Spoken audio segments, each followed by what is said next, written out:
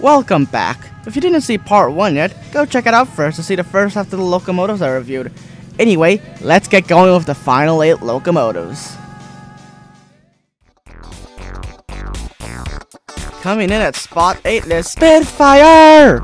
Along with having the best name I've ever heard a locomotive had, Spitfire is honestly quite a good runner for what he does. Being a short engine, he fits in quite well at Denko hauling coal tippers around. He also has a fantastic soundtrack to boot, which helps with the workload. However, he has one issue that keeps him from being higher up.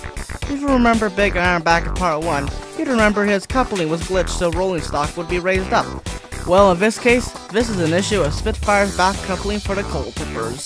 Since they can be slightly raised up, it can cause the tippers to derail. However, this only happens with the coal tippers, and as long as you put another car before it, you should be fine.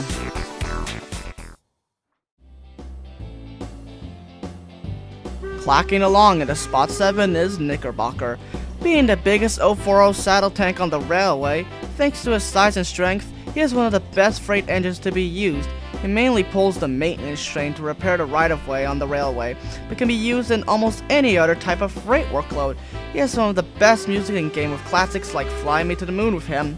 However, he does spawn in a smaller town between two bigger towns, which can make him be used less often than other engines on the railway. All in all though, thanks to his strength, he is quite a powerful workhorse and is certainly a useful engine when needed.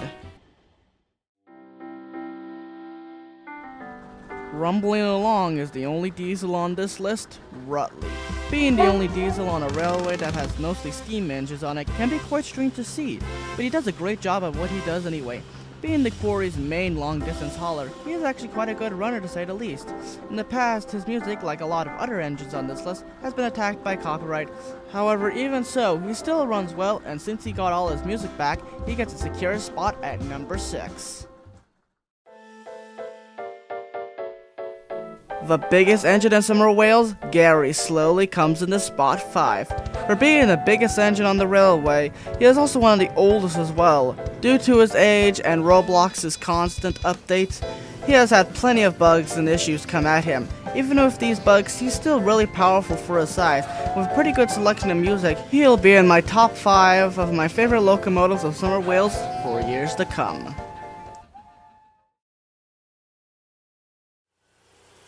Slowly roaring into number 4 is the smallest engine in Wales, Wannabe.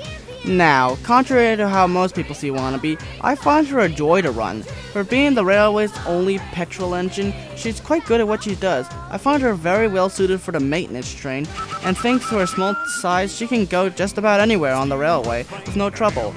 Most people see her as bland and sort of useless, and I can see why, but for myself, I see her as a very useful engine when it comes to jobs that require smaller engines. And to top it off, her music is just perfect for her.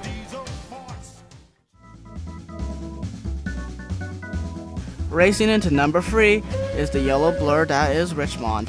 Richmond was once the slowest engine in Somewhere Wales, being so slow that he was often neglected due to him being at times quite useless. But since his rebuild, he has become the second fastest engine in game thanks to a bug with the A and D keys. His rebuild was also helpful for getting him noticed as well.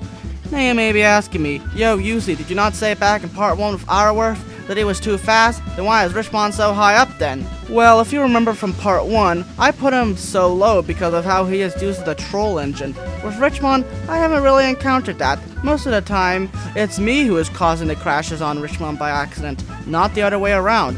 So overall, thanks to his speed, rebuild, and music, he gets to be my third favorite engine. Carefully backing up in number 2 is the tender engine Elmira. I really wanted to put her at number 1, but I was persuaded otherwise. Overall, her design is just awe-inspiring, being one of the most detailed locomotives in Wales. Her detail isn't the only good thing about her. She has the most toggleable parts on her, like air brakes, and having the option to control brake fans.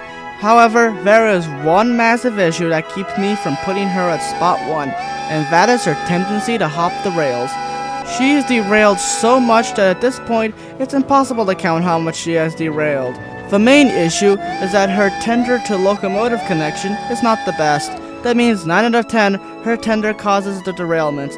Overall, I really love her design and her hitting quirks. Her music is also really good, suiting the grandness of her. but her derailing issues just keeps her from getting into spot one. And at number one is the slowest engine in game, nicknamed the box on wheel. It's John Henry! John Henry is by far my favorite locomotive in Somewhere Wales. His strength is equal to that of Gary's and his size is the same as Knickerbocker.